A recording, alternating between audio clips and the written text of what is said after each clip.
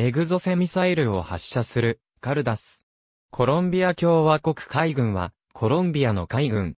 スペインからの独立後、1810年9月17日に、カルタヘナ最高委員会の命で、ホセマリア・ガルシア・トレドが、海軍指揮所を設けた。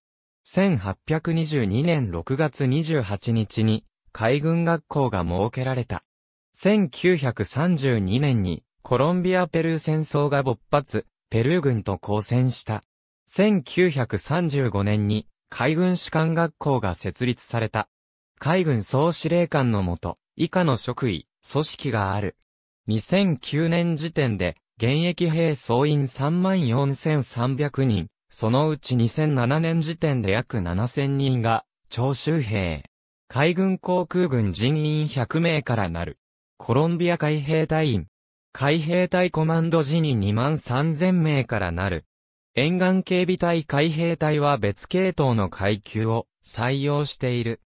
また、士官の場合、かつてのオブマイナス8相当の階級、海軍では、アルミランテでアスクアドラが、海兵隊では、テニエンテゼネラルがそれぞれ廃止されたため、NATO 階級符号では、同ランクとなる他国の階級よりも、それぞれ1ランクずつ上の名前を採用していることに、注意が必要である。なお、アルミランテは、スペイン海軍では OFマイナス8相当とされているが、コロンビア海軍では、 OFマイナス9相当とされている。S-29 タイロナ。2011年6月現在、ジェーンズ・ファイティング・シップス2011から2012より、過去に保有していた艦艇については、コロンビア海軍艦艇一覧を参照。2011年6月現在、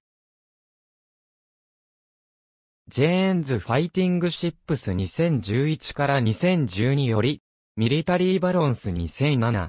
ありがとうございます。